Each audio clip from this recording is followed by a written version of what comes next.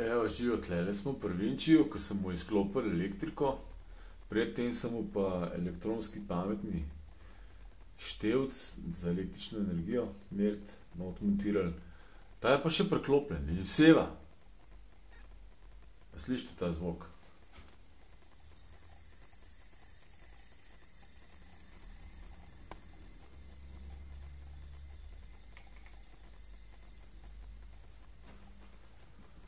A vidite, ka moti kamera, koliko to seva? A vidite, koliko to seva?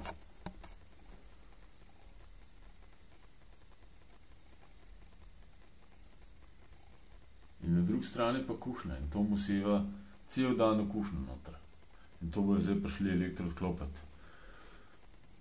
In civilna tožba za oškodovanje zdravja. Kakšna svinjarija. Izklopili so mu elektriko, dali so mu pa morilsko napravo noter, to pa še lavfa. Neverjetno. Neverjetno. Kakšne zlobe.